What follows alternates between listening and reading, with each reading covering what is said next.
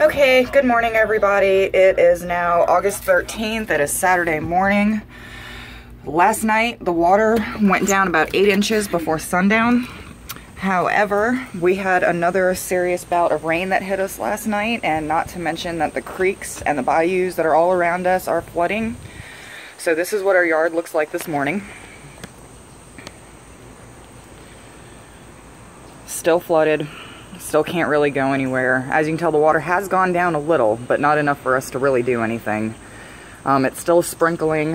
Um, I haven't gotten a chance to really take a look at the radar yet to see how much more is coming. But we are still in one piece, just still flooded in.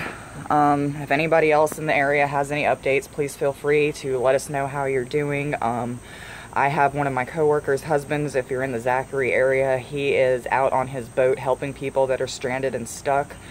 Um, this is just really ridiculous. They have now dubbed it the Great Flood of 2016.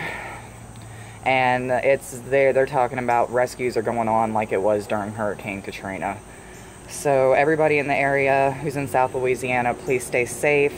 Um, and if you are trapped and you're stuck in an emergency situation, YouTube and Facebook is not the place to ask for help.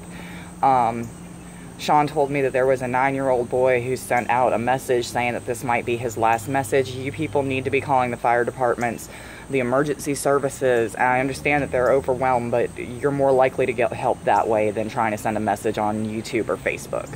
So everybody please stay safe, God bless, and uh, we'll have more updates as they come.